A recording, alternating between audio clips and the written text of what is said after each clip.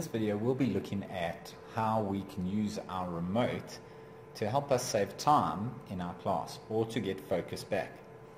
So on our remote there's two magic buttons, freeze and AV mute.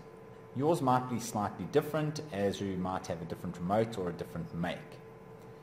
The idea behind it is firstly if I want to get the students attention, they're not focused or they're not listening to me, I press AV mute and that switches off the screen.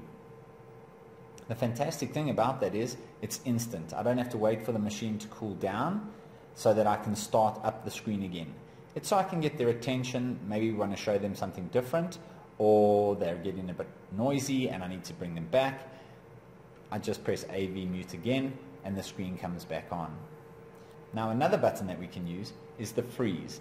And the idea behind this is it freezes what is coming out of your projector. What's on your screen at the moment is frozen and you can get on and you can go work with other programs on your computer.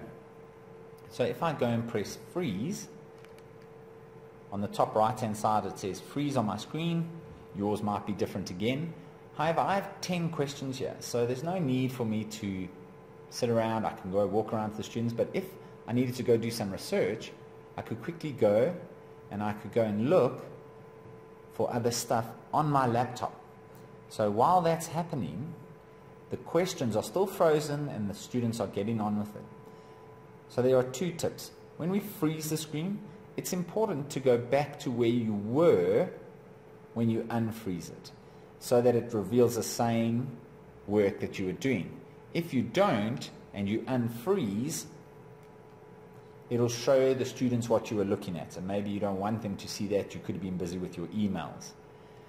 With the AV mute, please keep in mind that this does not switch off the projector. The projector is still on. So if you leave the class and you leave it on AV mute, the bulb inside the projector is still burning.